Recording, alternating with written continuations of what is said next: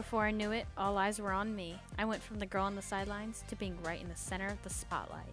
I heard that Katie Heron is friends with John Stamos on Facebook. One time, Katie wore army pants and flip-flops, so I wore army pants and flip-flops. One time, Katie Heron asked me why she saw me outside her bedroom window. It was awesome. With Regina's reign as queen bee coming to an end, it was only natural for her worker bees to find a new queen. So Katie, how does it feel to be North Shore royalty? Royalty? Yeah, you're like totally trending right now. Um, it's okay, I guess. Just okay. Girl, you're at the top of the food chain. Yeah, it's like you're the big scary shark and everybody else is the little fishy swimming for their lives. Well, maybe not to that extent. Katie, you should definitely throw a party to celebrate. I don't think that's a good idea. Come on, Katie, this would definitely send your status through the roof. Well, my parents are going to a concert in Madison tomorrow night. Then it's settled. Operation Queen Katie is the go.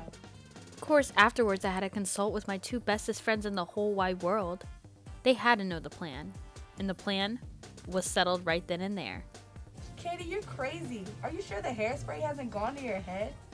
Or so I thought. It's the only way for us to ensure Regina will never rise to be the queen of North Shore. This has to be illegal. Maybe socially. This has to be some sort of rule of sisterhood, but you know what? I'm a rule breaker. And after some convincing, they finally started to believe me. Regina had to come to an end.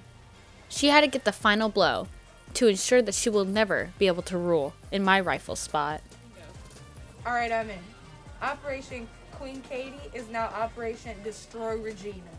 She won't even get the chance to take my rightful spot on the throne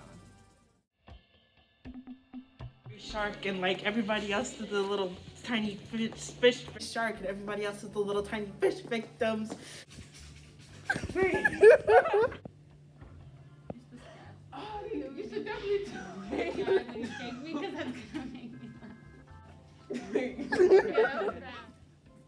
no, no. What? Kate.